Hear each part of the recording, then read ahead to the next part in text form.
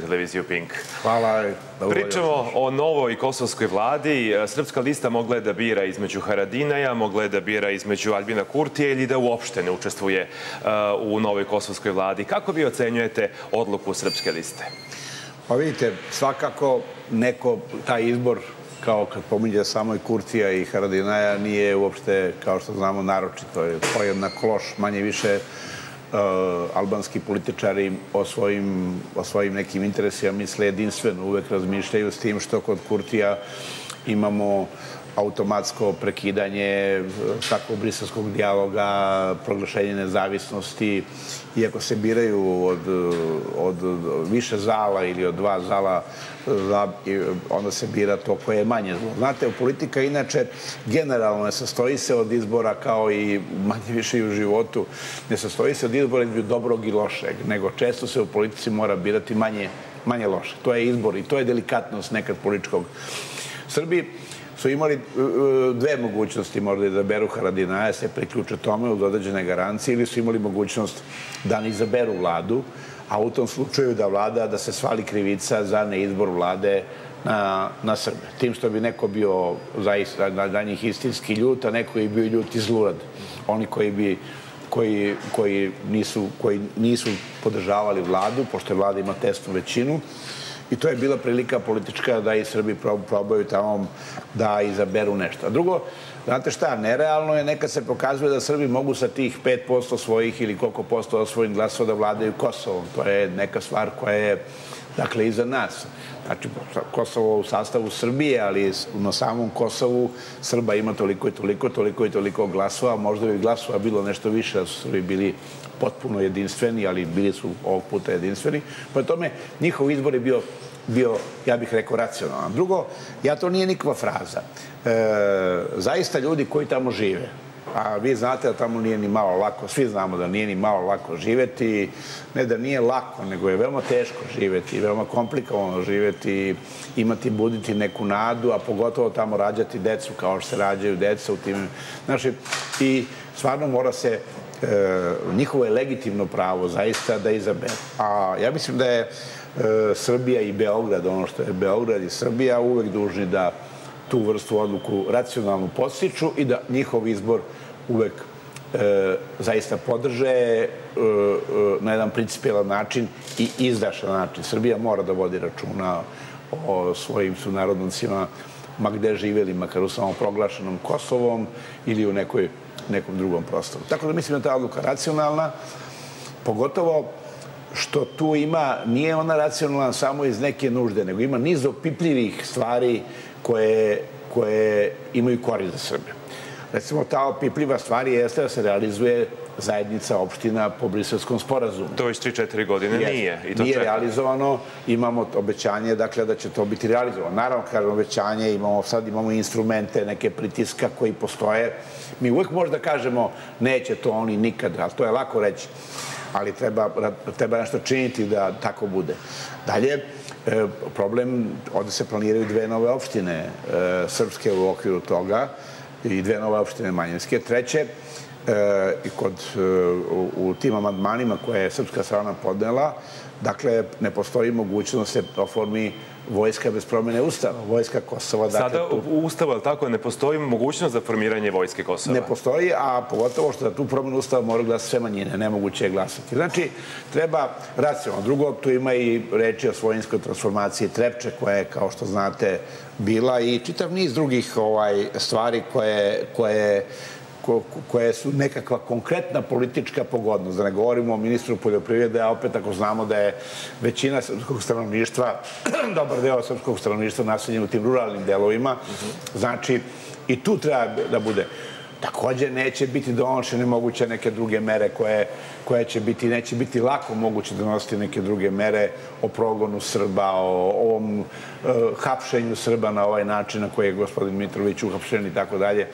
Znači, ima način da se dakle, mehanizam kontroliše. Naravno, to nije stvar koja je e, optimalna sad. Niko nije srećan zbog toga što je e, Haradina i, i presrećan, što je Haradina i predsednik i što je I ne treba nikog podučavati koliko je to neka nevoljna, nevoljna saradnja. A da li je ovo bilo najbolje od ponuđenog? Ja mislim da je to bilo od ponuđenog, da je to bilo najbolje. Ja mislim da, su, da je Srpska lista izabrala na pravi način to što je izabrala i ja mislim takav izbor te Srpske liste treba, dakle, treba dakle podržati. A da vlada, kažem, nije formirana, sva krivica bi se onda tim mehanizmom koji je svalila na srpsku manjinu. Manjine, manjine tamo u nekom prostoru na kome žive mora dakle, da se prilagode i ja mislim da je to prilika da se niz drugih rešenja kroz parlament e, naprave tako da, ne, da nisu moguće bez konsenzusa sa e, Srbima ili sa drugim, e, sad govorim uslovom nacionalnim manjinama, zbog toga što je to na jednoj određenoj teritoriji koja je pod međunarodnom kontrolom. Postoje i oni u Beogradu koji ne misle da je ovo dobar izbor. Kritikovali su ovu odluku Srpske liste Saša Janković, Boško Bradović, Vuk Jeremić, Saša Radulović. Kako komentarišete te kritike, znajući da su predstavnici Srpske liste za njih rekli da mnogi od njih ili većina ili bar svi nisu uopšte ni bili na Kosovu i ne znaju kako Srbi tamo žive? Pa vidite ovako, ajmo nekim redom. Ako je Vuk Jeremić u pitanju, on ima najmanje prava to da radi. S obzirom na odricanje od rezolucije 1244 o Kosovu, na zajedničku deklaraciju koju je podneo Ujedinim nacijama sa Evropskom unijom. Izmeštanje tog dijaloga, da. Iz, de, iz, je iz preambule toga izbacio rezoluciju 1244 i zbog najpogrešnijeg mogućeg pitanja koje je uputio Međunarodnom sudu pravde. Dakle, on je sebe, kad je Kosovo u pitanju, legitimisao. I prihvatanje njegove vlade EU-Lexa jeli, davanje, e, gde smo morali tražiti od, e, od Rusa da se uzdrže od bilo kog veta. Znači, o tome je bilo najbolje da čovek pre nego što objasni te svoje postupke, jeli, ili pokaže da su, ili prizna svoje greške, a te postupke naravno ne može neko večno nositi, ali može lepo da prizna zašto je to uradio i kako to uradio i zašto, i to je protiv, sasvim sigurno protiv interesa Srbije, i to govorim racionalno, vrlo određeno, bez ikakvih. Tiče Radulovića, njemu to nikada, kao što znate, to, to, je, to je više, e, to su više prigovori nekome e, što on čini nešto, a on bi davno učinio mnogo više i dao nezavisnost Kosova. I to je više neka, to je neka inverzija značenja koja se tu javlja e, tako, eto, da treba kritikovati, treba govarati Aleksandra Vučića. I to je temeljni kamen naše, naše, nažalost, našeg političkog života opozicijonog. Oni samo ogovaraju ono što se dešava. Oni nemaju ni rešenja, ni predloge, ni zahteve, ni da neko se sad pozabavi ovim konkretnim stvarima. Oni je neko samo, njih ponudio da neku alternativu za ne, problem ne nude, Kosova? Pa nema tu, ne, oni ne nude niku alternativu. Oni nude alternativu da će to jednoga dana sve biti i tako dalje. Sve to u redu. Srbi mora da očuvaju svoju svest o tome šta je Kosovo za njih. Srbi su to umoli da čuvaju i kroz vekove i tako dalje. Ali to je, ovo je vreme u kome se nose nose određene odgovornosti za određene, uh, za određene političke poteze. Drugo, ako treba nekad prihvatiti i ne progutati, znate, progutati žabu, recimo Nemačka štampa tvrdi da je Haradinaj progutao žabu tim što je došao u blokadu, u situaciju koja jeste, Hazarblad Zeitung kaže da je to, da je Oni, oni imaju takvo viđenje jednom. Znate, onda je bolje da neki predstavnici vlasti podnesu neku, neko, progutaju neku žabu figurativno ili tako dalje, nego da to radi ceo narod. Znate, lako se i natiti ako nije, ako, lako se nada tuđi račun. Treba se, kad se čovjek inati o svom trošku i da na svoja pleća sa zajedno odgovornostima. Tiče Boška Bradovića, on ima tu patriotsku legitimaciju koju on ozbiljno dovodi u pitanje na način na koji on traži e, ovo što je prosto nesvatljivo je da, da u političkom angažmanu on traži da se zabrani jedan medij. Znate, on pripada novoj generaciji, ali mi koji smo se borili protiv zabrana, protiv verbalnog delikta, znate, to su bile ogromne, krupne borbe, protiv zabrane knjiga. Moja knjiga je, recimo, bila poslednja zabranjena knjiga u Srbiji uopšte, koji smo napisali knjige o tome da ne treba ništa zabranjivati, ništa oduzimati, ništa zatvarati i tako dalje. Prosto ja ne mogu da shvatim da neko može u svom političkom delovanju da kaže da nešto treba zabraniti, ukinuti i tako dalje. Treba se naravno boriti da se nešto unormali, da se nešto reći svoj stav koji imaš politički. Ali to zatvaranje, zabranjivanje i tako dalje, to treba isključiti. To aludirate na jučerašnji njegov dolazak ispred zgrade Pinka. Da se kaže onako, ali imati politički stav takav. Drugo, daj da da o ovim stvarima, ja bi, ja bi što bi kaže, držao za, rič, za reč ovu srpsku listu da ispunjava ove stvari, davo im podršku, davo im možda još druge mogućnosti da primene nešto, da, tako da.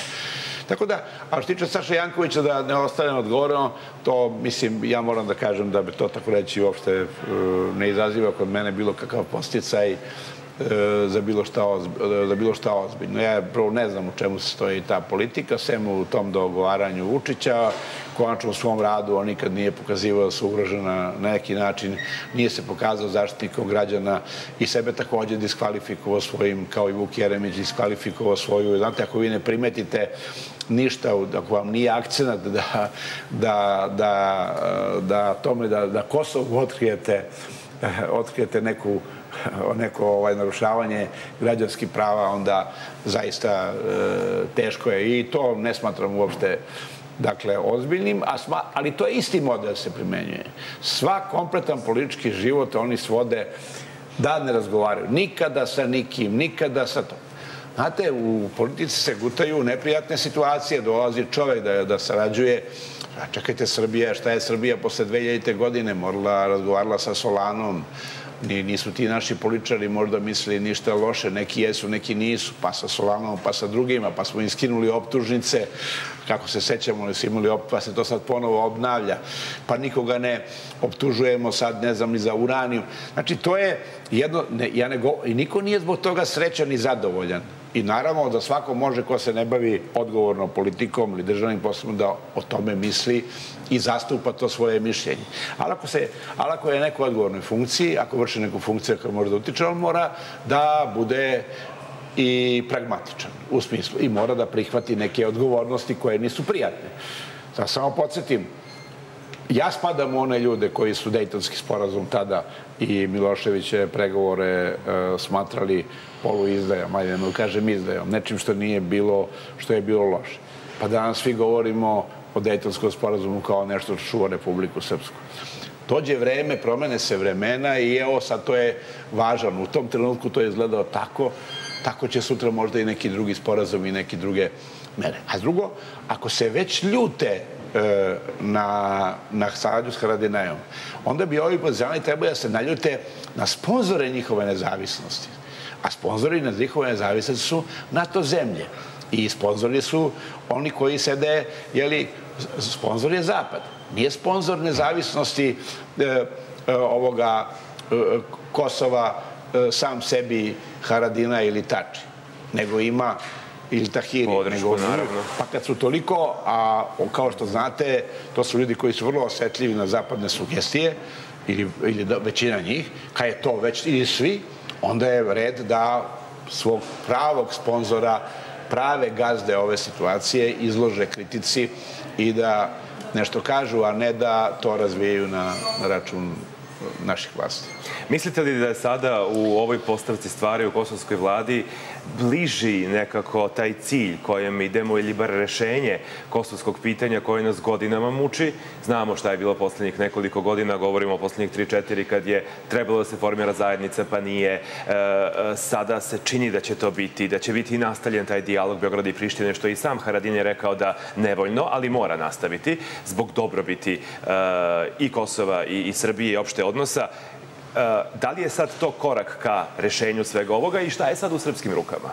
Znate šta, e, moramo, od čega je startovala ovih poslednjih pet godina? E, mislim, nije se u poslednjih, u poslednjih godina nije bilo nikakvih, sad to je jasno je u kom kontekstu govorimo, nije bilo nikakvih pogroma nad Srbima. Znači, ima politika ovo nekih rezultata. Imali smo situaciju jednu, jednu traumatičnu oko, oko onog voza, jeli, koji je kad su, zahvaljujući srpskim, e, srpskom jasnom stavu, Rose nisu došle na specijalne jedinice, nisu došle na Izbegnut je sukob koji je bio očigledan, da. I, uz, znači, na neki način demonstrirano. Srbija je drugo diplomatski u mnogo boljem položaju. I kad je u mnogo boljem položaju diplomatski, ona može više da utiče, da štiti, da zaštiti svoje, dakle, građane. Ovo je dakle prilika da se neki modus vivendi, neki način, način života, preživljavanja i jačanja srpske zajednice ostvari. To je put. Naravno, to se neće, to će biti mukotrpno, teško, komplikovano i tako dalje. Sve te stvari koje sad se pominju definitivno rešenje. Ne može neko definitivno rešenje biti ni brzo, niti, niti uopšte može biti definitivno. To je jedan proces koji će trajati dugo, koji će biti ali ne mora da traje dugo na način da nas iscrpljuje potpuno, nego dugo u smislu jednog civilizovanog postupka i puta i vezivanja te zajednice. I to ima perspektivu i ja mislim da je ovo način da se tome bližimo. Takođe, kad je regionalno u pitanju, ima i e, Haradina je pokrenuo, mislim, vidim njegova vlada i promenio komisiju za razgraničenje sa Crnom Gorom, tako da to isto detraumatizuje na neki način situaciju gde Kurti traži da se... Znači, A, a Srbija to govori zbog toga što Srbija insistira na stabilnosti. Srbiji treba stabilnost, Srbiji treba razvoj, Srbiji treba da, da i dalje jača, ma koliko jaka bila mora da jača, a treba znatno da jača, da bi konačno bila jedan faktor u nekom, u nekom komplikovanijem i težem i razrešenju čega. Drugo, nije, ne iscrpljuje se srpsko pitanje samo na Kosovu, kad već govorimo, tu je Republika Srpska, ima tu mnogo elemenata u kojima, u kojima državni državnici treba da vode računa i o kojima ja se nadam i oni koji su odgovorni, ne, nego sam, i ne samo se nadam, nego i znam da vode računa i i hoće. Tako da mislim da je to jedan korak ka smirivanju i da probamo nešto konkretno da uradimo tamo za Srbe i da konačno tu će biti uskoro i gazivode na dnevnom redu i trepča. I konačno će im imati i predstavnici Srpske liste svoj glas kao manjina, kao što smo rekli na Kosovu, i moći će da odlučuju. Manjine u tom parlamentu, zato što imaju toliku podršku. Čak ne moramo da ih imenujemo na bilo koji način. Ali imaju toliko i toliko poslanika na osnovu toliko i toliko glasova i oni predstavljaju određeni politički faktor na toj teritoriji koji jest on je vezan za Beograd, pa zašto je bio vezan? Pa neće valjda biti vezan za, za, za Tiranu. Ja, mislim, tako da, ujedno, tako da to, mislim da je ovo jedan faktor, kas, ali sad naravno, od Srpske liste i njeni predstavnika i njihovi sposobnosti zavisi koliko će uraditi za, za Srbiju. Gospodine Vučeviću, hvala vam mnogo na, na ovom gostovanju i pratit ćemo dalje e, situaciju u vezi sa Kosovom. E, zaključujemo da ovo jeste dobar korak jeste. od onoga što smo imali, je li tako? Hvala vam mnogo još jedan put. Naš gost bio je Milorad Vučelić, glavni odgovorni urednik večernjih novosti. Nastavljamo jutarnji program.